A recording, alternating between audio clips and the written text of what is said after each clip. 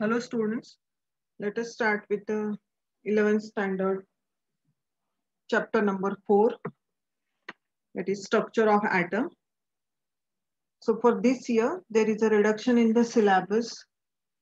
So the initial portion which is included that is discovery of protons, neutrons and electrons that is excluded from your syllabus. So I, I would like to start directly from the concept of atomic number and atomic mass number. Now, if you look at this here, this X, if it is an element, so this Z represents atomic number and A represents the mass number or the atomic mass number. Now this atomic mass and atomic uh, mass number, if you come to this concept that is N that is denoted by number of neutrons. Z represents number of electrons. That is number of electrons are always equal to number of protons. So these are the particles which are present in the nucleus of an atom, isn't it? So this carbon atom, atomic number of carbon is six and this 12 is the atomic mass number for this carbon so this six is the number of electrons, which is equal to number of protons. So now electrons are always having negative charge on them and protons are the particles with the positive charges. So number of electrons will always be equal to number of protons and number of neutrons can be determined by referring to the atomic mass number. So we'll discuss this further. Now you, you know what is atomic number that is represented by the symbol Z. Atomic mass number, which is represented by capital A. So this is atomic mass number 12 for this example of carbon atom. 6 is the atomic number of carbon. Now after this, we'll go to the concept of isotopes, isobars and isotones. So isotopes of of an element, they have same number of protons, but different number of neutrons here. So these are the isotopes of carbon. Carbon with atomic number six. So each and every atom of carbon has got the uh, same atomic number. So these are the same number of protons or the number of electrons will be same in all the three cases but there is a different in difference in number of neutrons. Means this atomic mass number it is 12 here it is 13 and here it is 14 so if you subtract this number of neutrons can be calculated by subtracting this a minus z. That will give you value for n. So 12 minus 6 that is 6 here it is 13 minus 6 that is 7 and here is 14 minus 6 that is 8 so here in this case, number of neutrons is six. Here in this case, it is seven. And here in this case, it is eight. So these are the isotopes of carbon.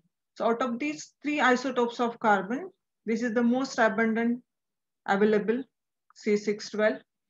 This C613, this uh, carbon uh, isotope, it is used in method like spectroscopy, means uh, like carbon NMR CMR, which is called, that is a nuclear magnetic resonance spectroscopy. This, this uh, you will be studying at the higher level rather at the MSc level. This uh, method is used or the tool is used to determine the different structures. The term which is called that is called as the spectroscopy. And this C614, this is the isotope of carbon which is used for the carbon dating. Okay, so this is about the isotopes. Isotopes are having the same number of protons. You always remember isotopes means same number of protons or the electrons, but different number of neutrons. Means obviously the mass number or atomic masses would be different. Means they will, the isotopes will be of the same elements. Okay, so next we'll go for the next concept that is of isobars. So what are isobars here? Again, one more example can be quoted about this isotopes. Chlorine has got two isotopes, chlorine with atomic mass number 35 and chlorine with atomic mass number 37. It occurs in the ratio of 3 is to 1. So when we decide the atomic masses of such an isotopes, you can add these masses together and take the mean of those, you'll get this at 35.5. So we always represent Cl17 with atomic mass number equals to 35.5. So this 35.5, this is also used for determination in the uh, spectral techniques like mass spectrometry. Okay, so this, this is again of the much higher level. You did not have to discuss uh, here much about this spectroscopic methods and all. So just remember that these are the two isotopes of chlorine here. Earlier we talked that there are three isotopes of carbon. Likewise, there are uh, isotopes of oxygen and so on. Now coming back to the concept of isobars. Isobars are those, the atoms of different element. So uh, uh, definitely here in case of isobars, elements will be different, having the same mass number, but different atomic number.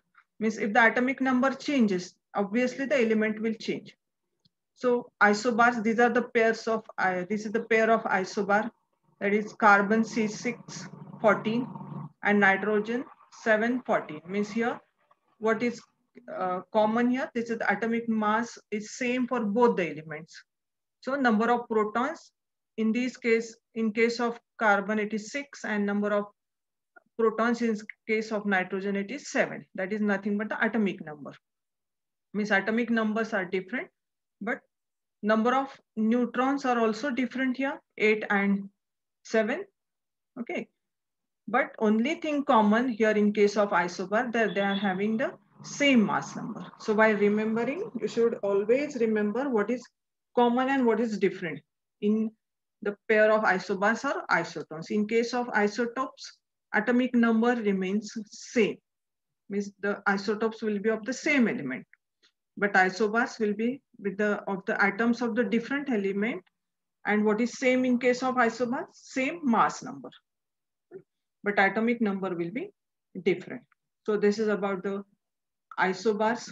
Now the third thing that is isotones isotones are the atoms of different element having same number of neutrons okay so neutrons will be same means obviously their atomic number will be different and their mass numbers will also be different.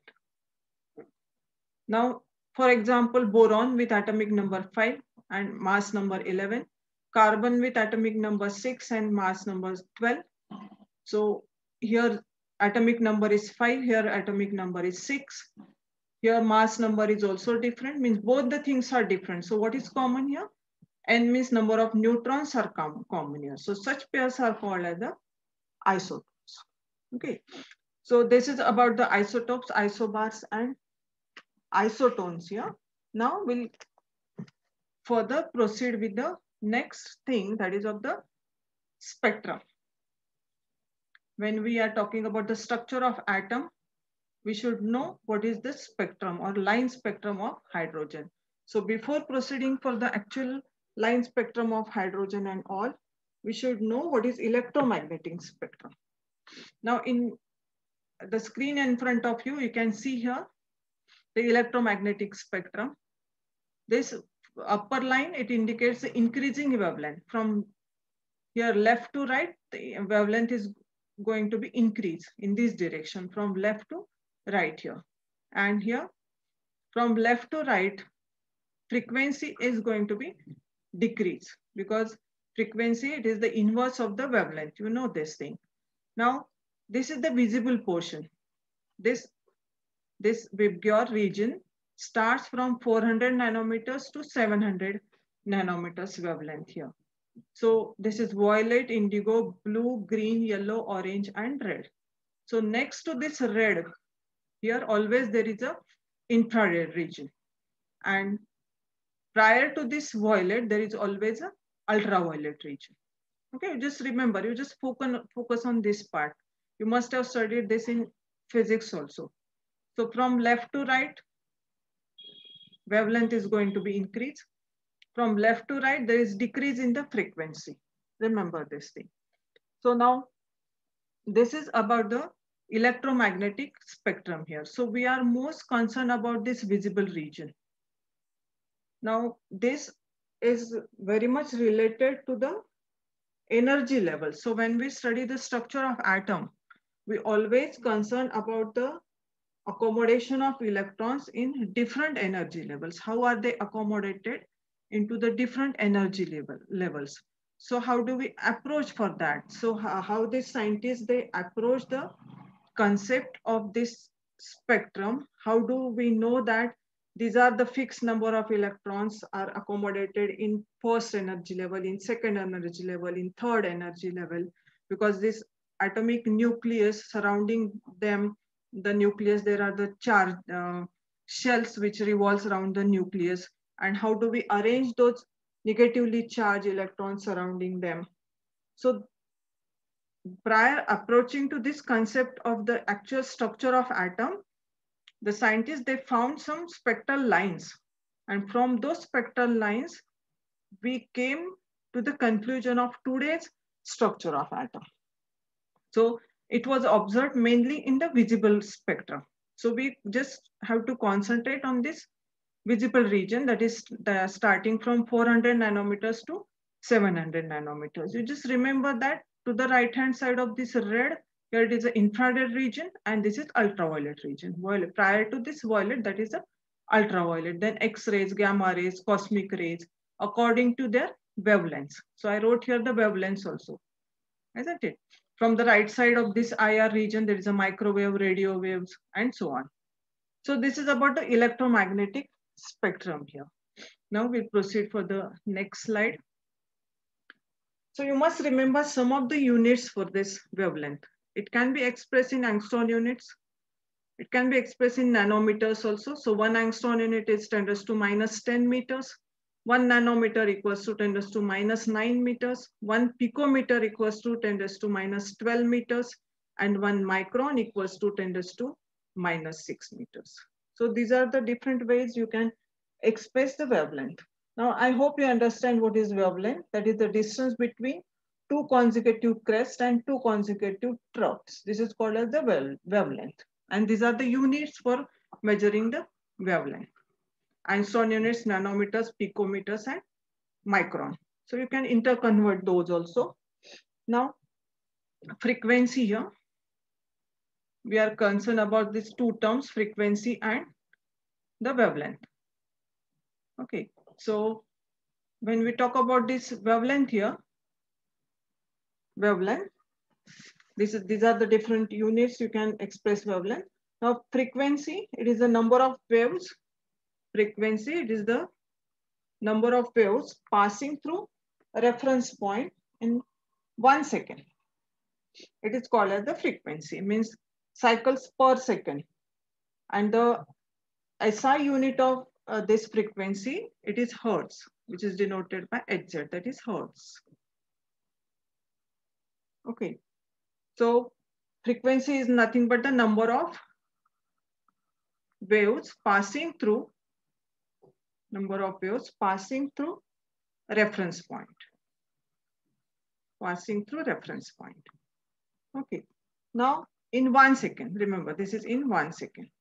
So this is also already taught to you in physics, I hope. So this is about frequency. Now one more thing we, you will be needing that is wave number. This is denoted by nu and wave number, it would be symbolized by this nu bar, that is wave number.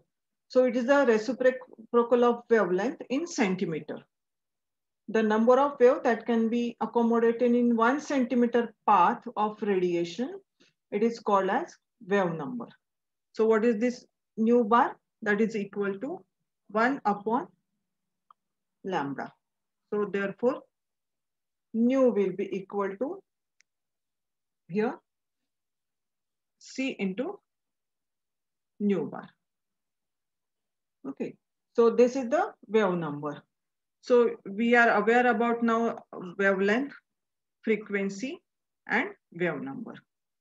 Now proceed further with the next thing. Now the next thing we'll talk about the line spectrum of hydrogen.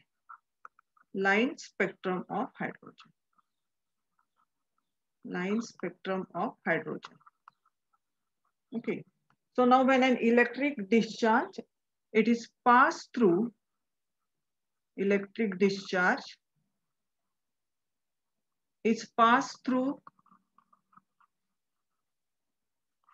gaseous hydrogen. Through gaseous hydrogen. Okay. Now gaseous hydrogen. So the h2 molecules h2 molecules dissociates or dissociated dissociated and they got energetically excited. They got energetically excited because you are passing electric energetically excited because you are passing some electric discharge through this hydrogen gas. So hydrogen atoms produced, they emit electromagnetic radiation. So due to passing of this electric discharge through these hydrogen molecules, what will happen? the hydrogen atoms because you, we are saying that they get dissociated. So molecules will be getting converted into atoms. So these hydrogen atoms, those are produced due to the passage of this ele electric discharge. So hydrogen atom produced, they emit electromagnetic radiation. Electromagnetic radiation. Electromagnetic radiation of discrete frequencies.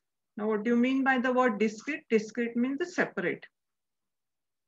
Separate means you can look at this discrete frequencies, which can be distinguished separately. Now, the hydrogen atom consists of several lines which are named after their discoverers. Means actually there are five different scientists who discovered these discrete uh, lines of frequencies which are produced by hydrogen. Means what is what does it mean actually? The hydrogen gas through this hydrogen gas electric discharge is passed. And during due to the passage of this electric discharge they show some discrete lines of discrete frequencies of different frequencies. And that is what we call as the spectrum means what must be the reason for this uh, production of spectrum here some amount of energy will be absorbed by these H2 molecules, which is utilized in the dissociation of molecules into atoms. And during this, what is happening? There is a, they emit some electromagnetic radiation with, the, with some or of some discrete frequencies. And those can be recorded in the forms of the lines like this. Okay? And this is called as nothing but the spectrum remember. So what is the reason for this actually? Because these atoms they are having we know that atoms means they possesses nucleus. Electrons are always revolving around them. So the electrons they absorb some energy and they will gain the energy levels like this. They are situated in different energy levels so if the electron is here it will be excited from here to here. And after getting occupying the position here and after reaching this point after some point of time it will again come come back to its original position. And during this transition from this stage to this stage it emits some energy. And though that emitted energy is recorded in the form of the frequency and that is what we call as the spectrum. Okay now this this was done in the year of 1885 and there after this there were so many discoveries and so many new inventions were uh, put together and we have now approached to the latest version that is of, of the spectrum and the branch nowadays which is which is called as the spectroscopy. So many things are added up there remember this is happening in in the year 1885 okay so as I told in the earlier uh, slide that the visible spectrum, visible spectrum, the wavelength for this is 400 nanometers to 800 nanometers for this one. Okay, so this visible region is of much importance. So Balmer series, if you refer to your textbook, you'll see here the Balmer series. So this Balmer series, is it is the name of the scientist. He proposes or he first time discovered some lines for the line spectrum for the hydrogen molecule, which appears in the visible region. So uh, for this Balmer series, this visible region is of importance. Now this visible region electromagnetic radiation, he put one formula for this with the wave number nu bar equals to 109677. This is this figure is called as the Rydberg's constant. You need not have to go into much detail. How does it appear? How does it come? Just remember this number. Then divide uh, into this 1 upon 2 square minus 1 upon n square centimeter inverse because this is the wave number. So inverse of this uh, wavelength that is centimeter inverse here. So this 2, this 2, why do I put here 2? Because for this Balmer series, n1 equals to 2. What is this n? This n is nothing but the sh shell energy level. So N is nothing but the shell energy level. Now this shell energy level means what? Because we are arranging this electrons into different energy levels. With the increasing atomic number, electrons can be put in different energies. They are not gathered because this is nucleus if you say. So you know this structure of atom up till 10th level. So this is the first energy, this is the second energy level, third energy level, and so on. So we are putting them in different energy levels. So this is denoted by N. Okay. So for this Balmer series here, this N1 equals to 2. So that is why I put here 2. Okay. Now minus 1 divided by N square. Okay. Now the general expression for this uh, you can write general expression. This is for the Balmer series, this equation. Suppose I number this as equation 1.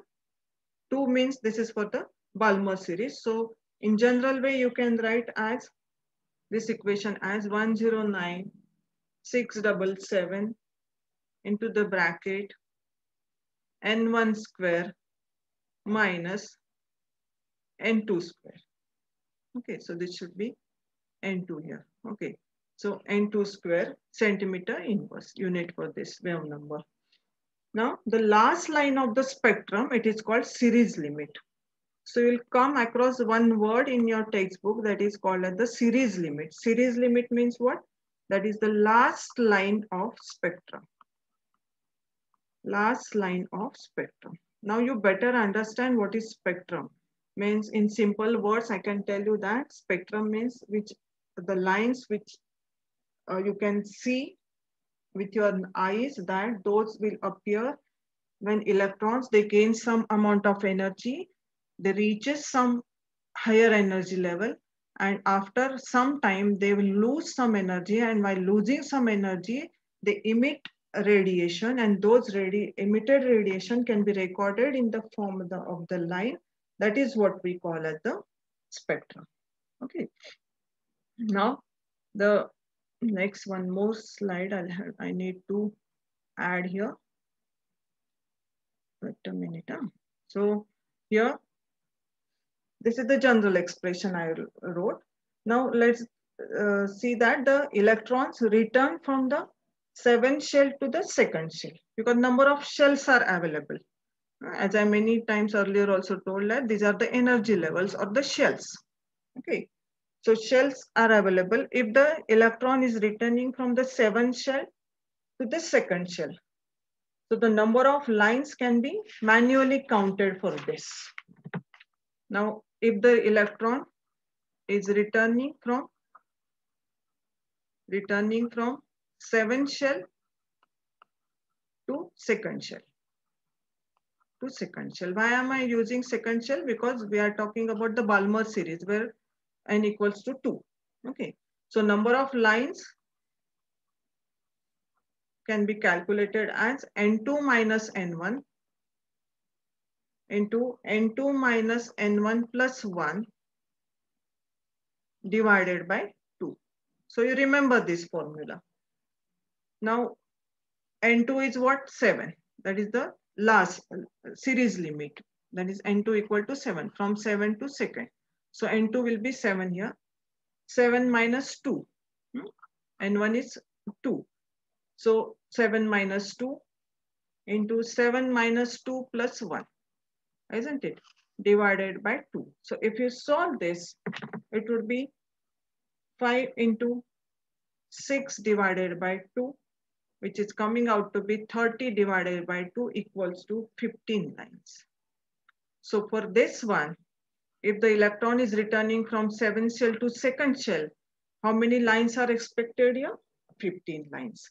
And those 15 lines can be shown like this. So this diagram is given in your textbook also, which is shown in different series, Balmer series, Paschen series, Brackett series, Pfund series, and Humphrey series. Now, for this Balmer series, which I told that it, uh, it was observed or viewed by naked eye, means obviously in visible region. So when I write here, n equals to 2, n equal to 3, n equal to 4, n equal to 5, n equal to 6, and n equals to 7 here. Now, so means when the electron is returning from seventh shell to second one. Okay, so here you can write.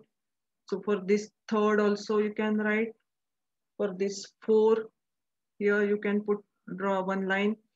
For this fifth and equal to five, you can draw the line. Okay, and for this sixth also, you can write here. So this 15, hmm, in the earlier one, we have calculated this lines equals to 15 lines. So these 15 lines can be seen like this. So this first step, it is known as the Balmer series which is observed in visible region. This is Paschen series. Okay. And this is Brackett series. Brackett series. This is Pfund series. And this is this is Humphrey series. So these are the series named after different scientists which were uh, viewed by different scientists in different uh, regions of the electromagnetic spectrum. So this is your visible region, Balmer series in visible region. Okay.